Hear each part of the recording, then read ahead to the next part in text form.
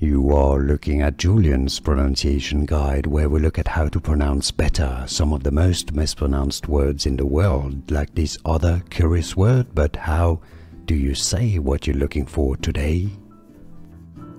We are looking at how to pronounce the scientific name of this bacteria. We'll be looking at how to say more Latin Latin names from science, so stay tuned to the channel to learn more. Treponema, treponema, treponema pallidum. Stress on the third syllable of treponema, first syllable of pallidum. Treponema pallidum. And now you know, like this video if you found it useful, appreciate the support, it helps a lot, thank you. More videos for you here to learn more correct pronunciations. See you there, thanks for watching.